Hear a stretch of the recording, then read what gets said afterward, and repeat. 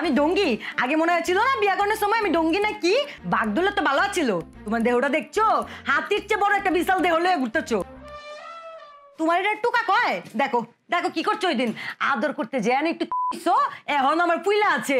আর চাপ খাইলে আমার কি অবস্থা হইতেছে বুঝতেছো? ও আমি মোটা। কেন, বিয়ের সময় কি চোখ বুঝে আসিলা? বিয়ের সময় দেখো নাই? তখন তো ভাবছিলাম, বাবা, কুলে কইরা লয়ে যেতেছ নিজের একের পরি মনে হয়েছে ভাবছি ডানা নাই, কিন্তু দুইটা পাকনা তুমি আমার লাগাই দিবা, আমি তোমার কুলে উঠে ওইটা ঘুমু।